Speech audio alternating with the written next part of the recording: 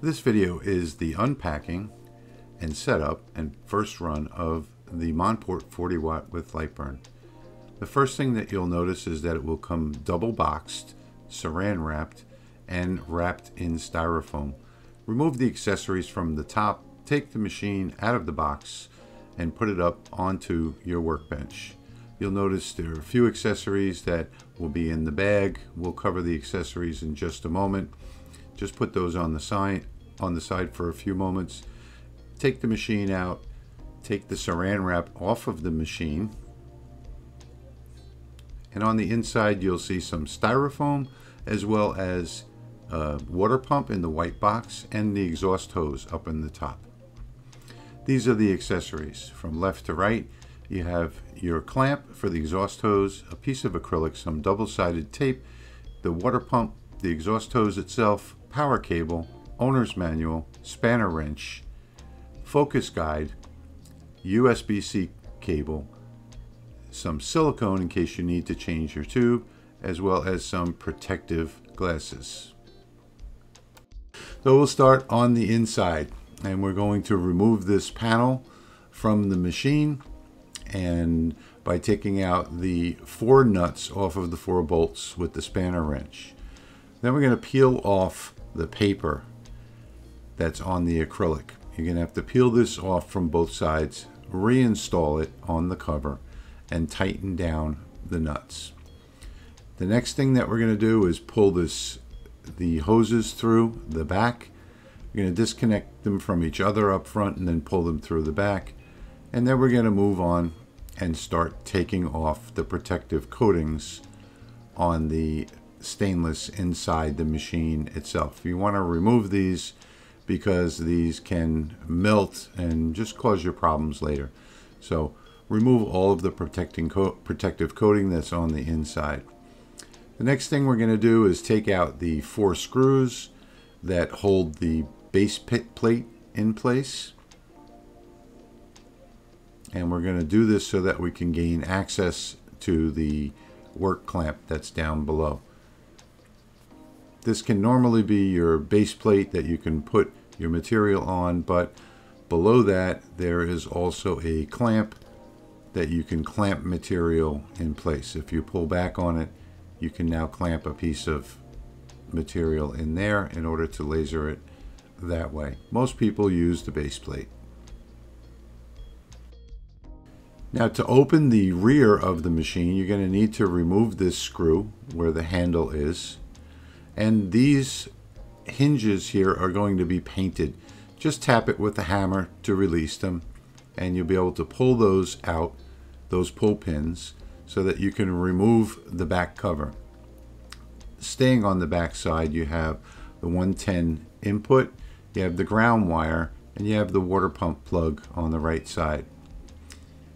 Now on the 110 input, there is a built-in fuse on this. All you have to do is pry this cover open to gain access to the fuse should you ever have a power outage and the fuse blows when the power comes back on. Make sure if you have a power outage that you turn the machine off at the switch so that there's no power spike when it comes back on. Looking at the laser tube now with the cover off, You'll see the uh, identification label. This one is rated at peak power of 42 watts. This is a Yongli tube, which is a very high quality tube. It's second only to the Reci. You'll see on this side is the water outlet, and you have your black wire, which is your low voltage return. You'll see all the mirrors are hot glued in place. That red wire is coupled with a ceramic coating. So that is a ceramic block and the wires are joined together, inserted into the ceramic block and filled with silicone. The next thing we'll do is go ahead and connect the water outlet on the laser to the water inlet on the chiller and the water inlet on the laser to the water outlet on the chiller. And it's important that you push these hoses all the way up to the back and then put the clamp on, but don't make it too tight because you can deform and actually break the hose, the silicone hose itself. So push them all the way to the back, put, you know, put the clamp on and only tighten it a little bit. Now for good measure, one thing that I do is I put in some Dawn detergent into the water chiller up on top. Now four, five, or six drops is, is good. And another thing I put in is the Tetra right behind it, the algicide. You can get that at Walmart. Four or five drops of that is good. And the what the dish soap does is it keeps the it lets the bubbles move through the tube. So there's no restriction. It coats the inside of the tube and that lets all of the bu bubbles evacuate the tube. You want, want to make sure that you never have any bu bubbles in your laser tube that can cause problems. Going to fill it with a gallon and a half of water. And now we're going to just remove both side panels because we want to make sure that that filter that's on both sides of the chiller is attached properly on all four prongs. Sometimes during shipping, the filters come off and then they serve no purpose. So go ahead and snap that back on on both sides and we are ready. So going to turn on the chiller. It's normal for it to take a couple seconds to turn on. And now you'll see it's at a little over 23 degrees Celsius. The water is flowing. So now we're going to move on to the power bay. Same thing, we're going to remove that screw where the handle is and open up the power bay on the machine.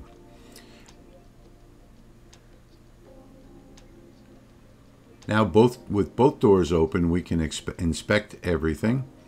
Make sure that everything is in place, plugged in, and ready to go.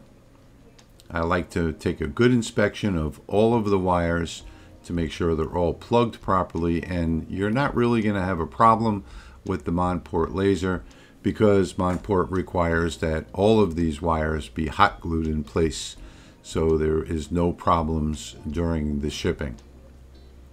And you'll see that every wiring connection is hot glued in place.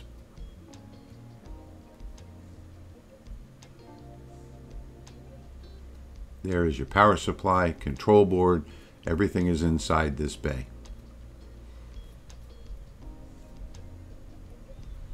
If we look at the top of the bay, you'll see the power switch on the bottom, then the ammeter, and then comes the water temperature, and then on top of that is the power supply temperature, and to the right is your emergency stop button. You will need to turn that emergency stop button to the right in order to use the machine and then you can power it on and off by the red switch in the front.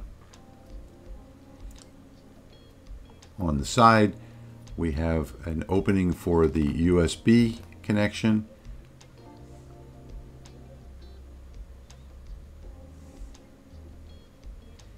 and we'll get a close-up picture of that in a moment. I like to put a magnet inside the power supply bay and keep all of the screws that I take out, just drop them onto the magnet. You can also keep other little supplies here like your focal gauge and things like that so you don't lose them. This is a close-up photo of the power supply itself and here you can see that everything is plugged and hot glued. Now we'll move on to the control board and you'll see everything here is hot glued as well.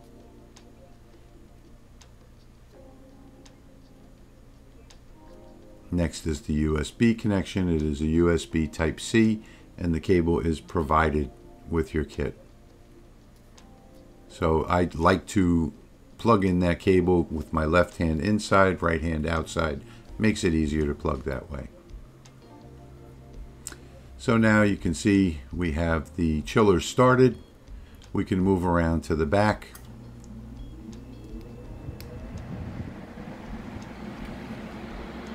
Make sure that everything, eh, nothing is leaking, and that's the first thing we want to check is a leak test. Make sure there's no water dripping from anywhere on the right side, which is the outlet, and also on the left side, which is the inlet. Just make sure that the entire bay is dry here. And you can see that I've already attached my... Now if you, for some reason, get an obstruction in those tubes, you will hear the alarm. And that's one good thing about using the chiller. If you get a kink in your hose, that alarm will go off on the chiller. That is normal. So I've attached the exhaust hose here and I've attached that to the air purifier and now this machine is ready for its first run. And here is the entire setup. You'll see that after only about 8 minutes it's down to 18.6 degrees. This is an intelligent chiller from the factory. It will be already set and it will keep the water at the right temperature. This is the air purifier on the right side. And again, on the chiller, it will keep it within 5 degrees of room temperature. So I'm going to turn that emergency stop button now with the switch in, in the power on position. You'll see that it turns on at 21 milliamps, which is the highest uh, amount of power that you can use on this. It is regulated so you can't burn up the tube. I personally use it at about 17 milliamps or so. And you just turn the knob to adjust it. Below the knob is a test button. It's called test. That is what most people know as a pulse button, the yellow button right there.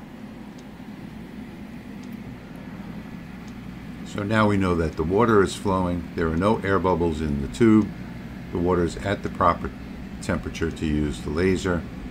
You can turn on the exhaust. In this case, I didn't turn on the exhaust because the only thing we're going to do now is just pulse the laser. And we're going to uh, make sure that it fires. And as long as it fires okay, I'm pretty confident that the mirrors are going to be aligned. So I have gone and set the milliamp reader, meter, excuse me, to 2 milliamps and I'm going to press the test button and there we go and it fires perfectly I will press it again just to make sure and you can see there that we've got a nice circular hole in the wood moving over to show you by the meter if I press that button where it says test, you'll see it will pulse at about 2 milliamps. There you go, 2. 2 to 3. That's all you need to do pulse tests. This is the focal gauge that comes with your machine and what you do is set it down underneath the laser head and that will give you the proper distance for focus to your material. Okay, so I am now in Lightburn and I am ready to set up the Monport K40 with Lightburn. So let's go ahead and plug it in. And we see that the computer has recognized it, so that is a good sign. I'm going to come over to Devices, and I'm going to try Find My Laser, and we'll see what happens. So I'll hit next and it did find it. So you can see GRBL 300 by 200. So that's good. I'm going to click add device. Uh, we're going to call this one Monport 40 watt Lightburn and the size is correct at 300 by 200. So I'll click next and it homes to the rear left. So I will click next again and I'm going to go ahead and click finish and say OK. So now I've done this all without turning the laser on. So you can see up here that it says busy right now. And we did not connect. So what I'm going to do next is I'm going to turn the laser on and then we're going to see how well this connects. So right now it's just connected to the main board. All right, so here we are in Lightburn. I've got the uh, laser set up this is me over here. Hello. Uh, we're in the console over here. We've done the installation and the next thing that we've got to do is turn it on and see how it works. So I'm not going to turn the chiller on for this one because uh, we're just going to check it and make sure that it's working. So I'm just going to hit the power on switch right here on the machine and let's see what happens in Lightburn. So let's come over to the laser tab and right click on devices. And there it goes, it found it. And it did home properly. So we are good to go here. I'm so happy that everything is going so smooth on this. If we come to the console, you can see over here that we have got the Monport laser and all of the uh, information is in here. So let's go to um, dollar dollar. You have to bear with me. I'm on a new laptop here. So new camera system, new setup over here in the wood shop. So it's kind of hard for me to get these things done properly the first time, but we'll give it a shot anyway. So uh, you'll see that all the commands in here are good.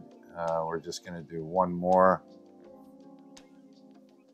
And everything looks perfect. So let's just, just for fun, uh, let's just move it around a bit, see how it responds. So let's see how this responds now. I'm going to click on the map icon, click on the middle of the screen, and we can see that that's working fine. So let's move it over to the right, move it down to the right, let's move it up to the right, all around the work area, and then we'll send it home. And everything seems to be working just fine.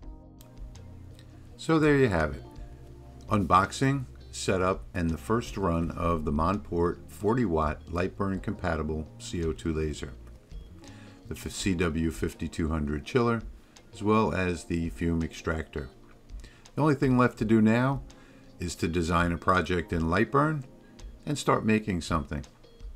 I hope this video helped you with the unboxing and the setup for your CO2 laser. Enjoy.